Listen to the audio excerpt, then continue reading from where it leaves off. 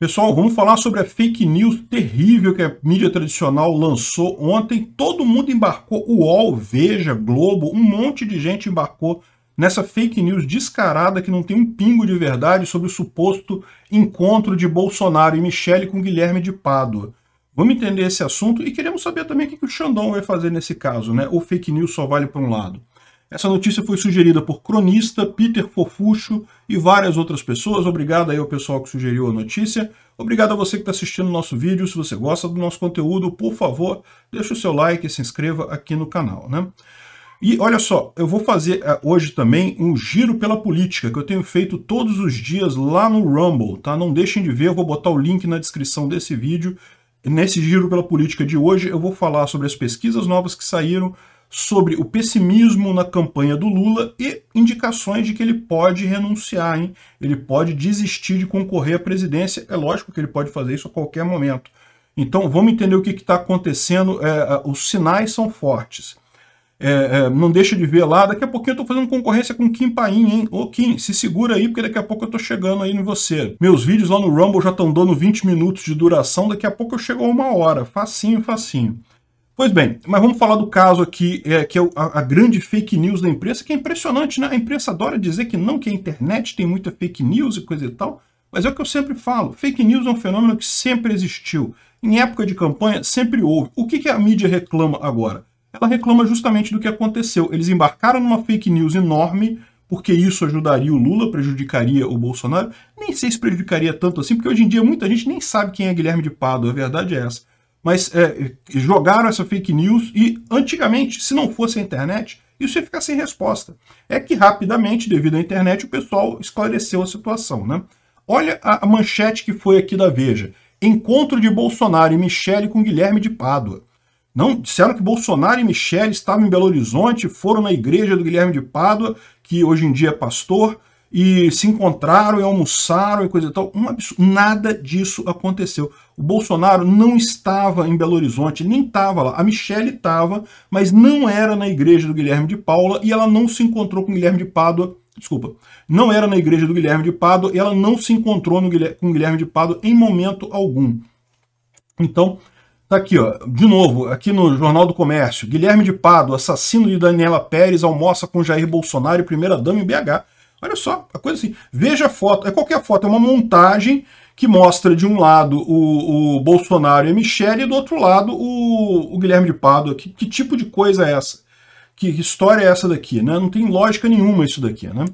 É, aí, aqui, a, no, no UOL, eles, a primeira notícia era Michele Bolsonaro, Jair Bolsonaro, encontro com Guilherme de Pádua. Olha só, dá para ver pela URL aqui, ó, que era isso. Justamente a Michele e o Jair Bolsonaro tiveram encontro com o Guilherme de Pado. Mas não, aí depois eles mudaram a manchete para Michele Bolsonaro tira foto abraçada com esposa de Guilherme de Pádua.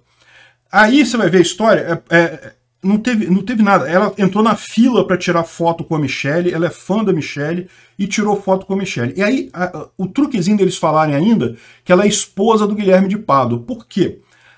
Para quem não lembra desse caso, e eu acho que isso é mais um tiro na água desse pessoal, porque hoje em dia pouca gente lembra desse caso do Guilherme de Pádua, foi um caso muito triste. O Guilherme de Pádua era um ator, é esse rapaz aqui, e ele era casado com essa mulher aqui, chamada Paula Tomás, na época, né? Uma, uma emboscada e mataram a Daniela Pérez, uma coisa muito terrível, né? Realmente algo trágico cara é um monstro, ficou preso um tempão. Isso já tem tempo, gente. Isso aqui eu não lembro quando é que foi isso, não, mas já faz bastante tempo esse caso da, ah, da, da, ah, da Daniela Pérez.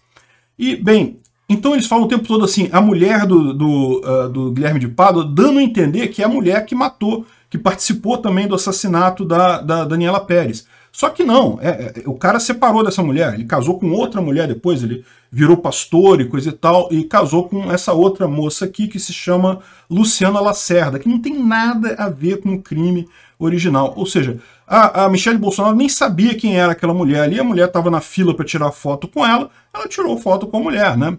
Repara como é que o pessoal. Eles criaram um nada. A partir desta foto que a Michelle Bolsonaro tirou com a nova mulher do Guilherme de Pádua, o Guilherme de Pádua nem estava lá, nem apareceu nesse encontro.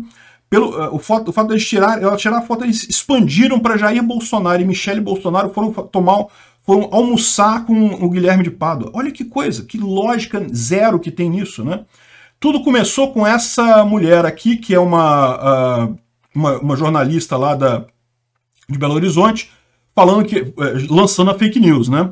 Uh, Jair Bolsonaro e Michele almoçaram com Guilherme de Pádua e Juliana Lacerda em Belo Horizonte. Saiba mais e veja a foto. Ela lançou isso, essa fake news, fake news completa é, partindo só da foto da Michelle com a Juliana Lacerda, só isso que tinha. E a partir daí, a mídia tradicional, como isso, isso agradava o discurso dela, isso era uma coisa que ela queria, né, jogar Bolsonaro com assassinos e coisa e tal, embarcou nessa e foi falando coisa e tal. O UOL, como eu disse, pelo menos voltou atrás, ele mudou a manchete e aqui está explicando a história que essa jornalista aqui foi quem começou a coisa toda. Depois, é, Jair Bolsonaro até falou, se pronunciou, falando que, olha só, em respeito a Glória Pérez, eu não vou alimentar essa exploração leviana, e explicando que ele não estava em Belo Horizonte, então não tem nem como ter havido esse encontro, que é, a Michelle também não estava com o Guilherme de Paula, de Pádua, Uh, não teve esse encontro em momento algum. Tudo que aconteceu, a mulher do Guilherme de Pádua, que entrou numa fila para tirar foto com a Michelle Bolsonaro e tirou. E é a nova mulher, não é a mulher dele que matou a Daniela Pérez lá atrás, a, a Paula Tomás, que lá atrás matou a, a mulher, não. Né? Na verdade, acho que foi ela que matou, ele só ajudou ela a matar. Foi uma coisa meio. Foi terrível esse, esse crime, eu não me lembro dos detalhes. Mas é por isso também que é, é uma besteira, né? Porque a maior parte das pessoas nem lembra disso, é muito antigo, isso é coisa antiga mesmo, né? E é, o curioso dessa história toda é justamente mostrar como é que a, a, imprensa ela se diz muito chateada com fake news e coisa e tal, mas na verdade, meu amigo, elas adoram fake news, eles sempre fizeram muita fake news. O problema deles é justamente que agora ninguém mais acredita nas fake news que eles faziam. Antigamente, essa notícia teria saído e ninguém teria desmentido essa coisa, ninguém teria explicado que, ó, não, não tem nada a ver, teria saído só essas manchetes aqui, que olha só, o encontro de Bolsonaro e Michele com Guilherme de Pado e ficaria por isso mesmo, como ficou várias vezes. Isso prejudicou inclusive o Lula. Quem não lembra da campanha de 1989? Bom, se você é da minha época, você lembra da campanha do Lula em 1929, que no último debate teve o aparelho de som atrás dele e o pessoal na Rede Globo ficou falando que Lula tem um bom aparelho de som, caro, sinal de que é, é, é rico e não sei o que lá a história, lógico, isso não tinha nada a ver, ele estava gravando aquilo ali num estúdio, né? É, Para explicar o contexto dessa coisa é complicado. Aparelho de som já foi uma coisa cara, era uma coisa assim, um objeto de desejo das pessoas no Brasil, né? Hoje em dia ninguém mais usa aparelho de som, caiu no esquecimento, porque você tem tudo no celular, por que você vai ter aparelho de som? Mas na época era um negócio caro, uma coisa que as pessoas queriam muito e é, colocar essa imagem do Lula como um cara rico e coisa e tal, isso prejudicou o Lula. Era uma fake news completa, porque ele estava na casa de alguém, não era dele aquele aparelho de som, mas todo mundo, toda a imprensa embarcou na fake news na época, e isso prejudicou o Lula, eles elegeram o Collor.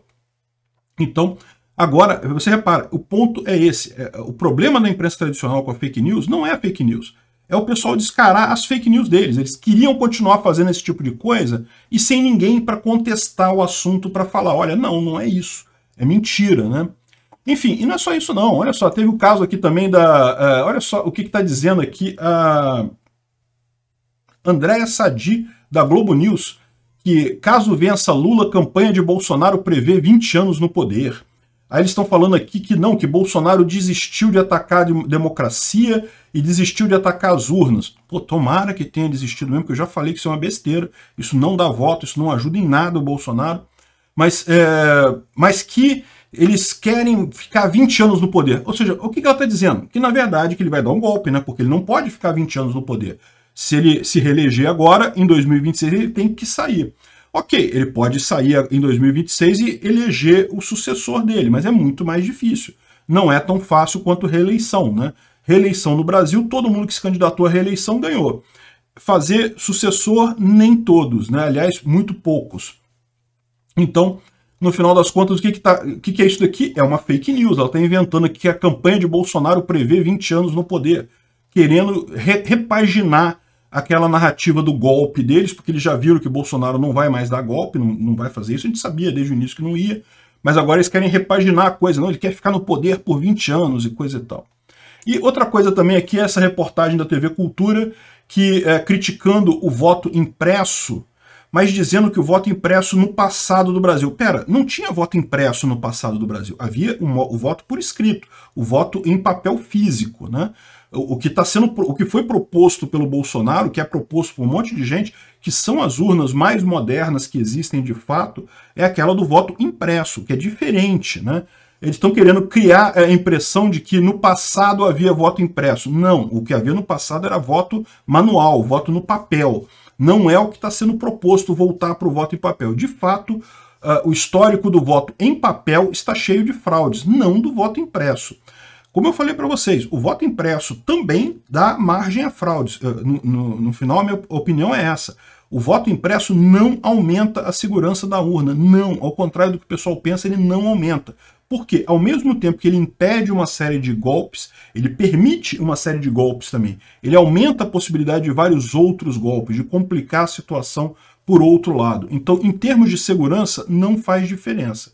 A minha posição sempre deixei claro. Eu acho que o voto impresso é interessante, ele, ele preenche o requisito de ser entendido pelo público leigo, né?